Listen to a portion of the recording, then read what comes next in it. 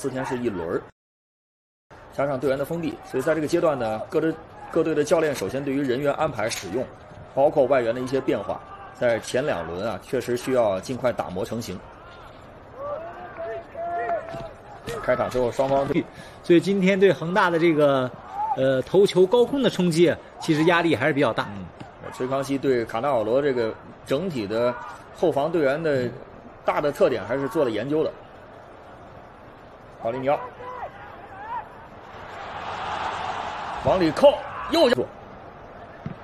那各个足协每个赛季前呢，现在都需要做一次细致的视频会，来统一大家的在一些判例上的。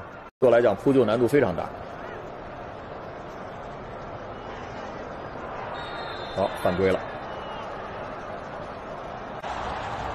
再往里走，中路还在找机会分边之后，扫门前后点，这个球包抄有一定难度，不太好看到来精神。呃，可能是我们更希望，跟球迷更希望看到。嗯。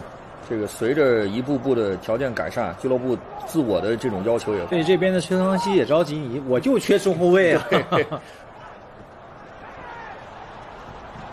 哦，这下做回来之后，正好碰到张修为还发挥，所以赵明剑这个位置他很尴尬，他上不来。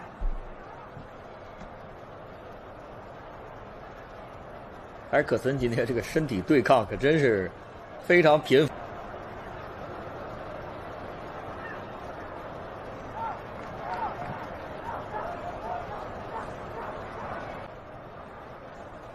马丁斯上来，可能会对蒋光太这次是个考验，看看他的回追速度。这下边路有空当，切进来之后可以一对一了，送过来。哎呀，后点这个位置啊，完全盯漏人了，维持好，回来了。